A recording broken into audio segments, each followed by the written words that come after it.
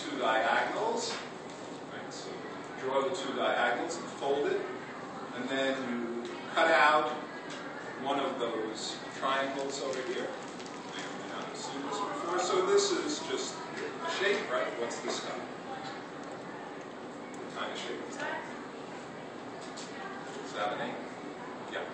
It's a rhombus. Yeah. Okay. That's a rhombus. Greek thing.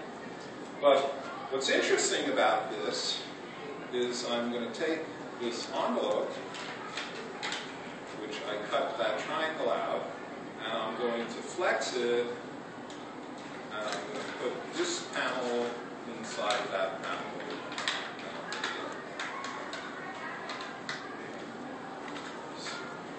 So some clever person looked at the world and noticed that you could do this. Uh, and if you want a nice